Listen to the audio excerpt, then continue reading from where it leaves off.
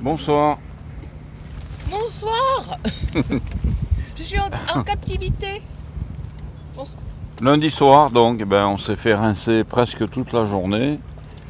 Vous voyez le ciel, on comprend mieux. Il y avait un bel arc-en-ciel de tout à l'heure. Je ne sais pas si vous le voyez.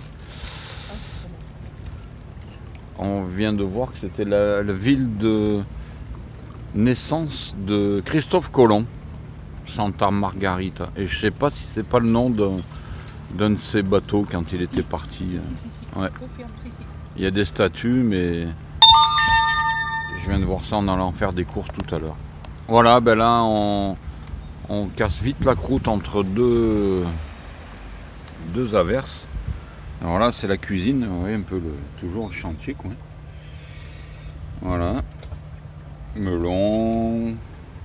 J'ai fait cuire des œufs entre deux, deux assauts. Un pecorino. On voulait faire des pâtes, mais celle d'hier était trop bonne avec nos potes. Un super chèvre. Il est où? Il est là.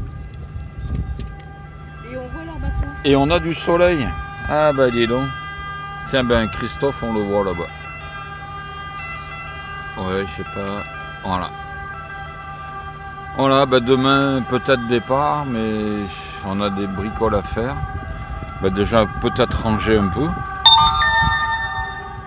Essence, eau, course. Et ils annoncent pas beaucoup de vent, donc. On est quoi 7-8 bateaux au mouillage? À peine, ouais. 2, 4, 5 bateaux. 6 bateaux au mouillage. Voilà pour les nouvelles. On, est, on a eu le temps de monter. J'ai juste eu le temps de monter la tente. Là, on la voit mieux, là, jamais. Alors, ça, vraiment, pas une goutte d'eau. Mais pas une goutte d'eau à l'intérieur. Pourtant, elle est montée un peu, euh, un peu bizarrement. Mais bon, ça fait. Donc, cette nuit, on la garde parce que voilà. Et demain, rangagement. Et on se casse. A plus. Salut la poule. euh, ciao les copains